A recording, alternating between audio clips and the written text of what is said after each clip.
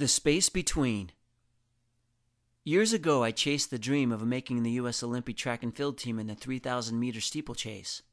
One warm April evening in Southern California, the night before an important race, I was reading a book that a favorite college professor had recommended Man's Search for Meaning by Viktor Frankl.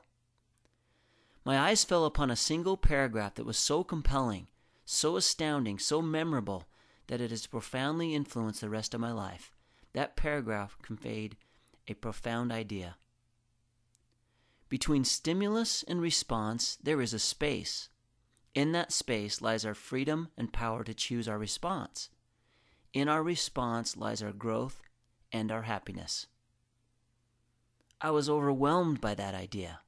It meant that I was not bound by my upbringing, my current habits, or my future circumstances. It meant that I always have the power of choice, no matter what. I was alone in a hotel room that night, but I wanted to find someone to go share it with. I reflected on it again and again, bathing in the joyful freedom of it. The more I pondered over it, the more I realized that I could choose responses that would even affect the stimulus itself. I could become a causative force of nature in my own right. My commitment to live in alignment with this powerful principle has been challenged many times, especially last week. My 16 year old son Jacob is a cross country state champion. I was running a difficult 1,000 meter repeat workout with him. The kid is fast. It was all I could do to run every other interval with him as I struggled at the edge of my pain threshold. I was running much faster than my fitness level should permit.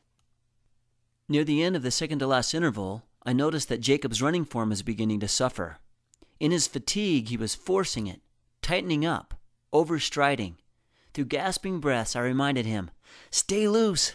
Don't muscle it. Use your arms more. Shorten your stride.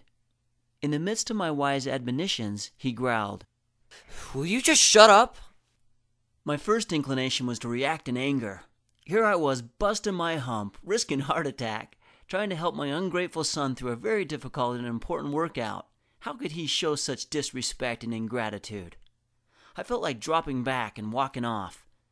Then I remembered my freedom to choose and resolved to lengthen the space between his stimulus and my response.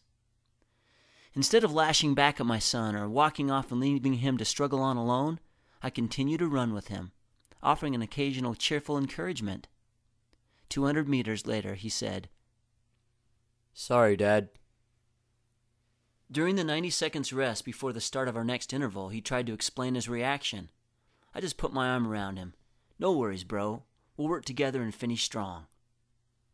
After the workout, Jacob was still contrite.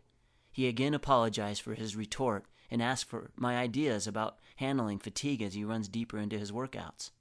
On our cool down, we had a great discussion, not only about the biomechanics of efficient running, but also how we have the power to call the shots in our running and how we run our lives.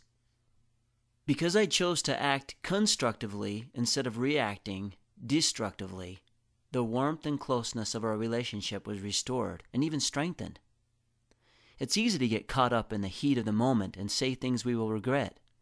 What we need is a pause button, and we have one a wonderful little mechanism located somewhere near the heart. It helps us pause between what happens to us and our reaction to it and gives us time to choose a better response. Therein lies our freedom and our happiness.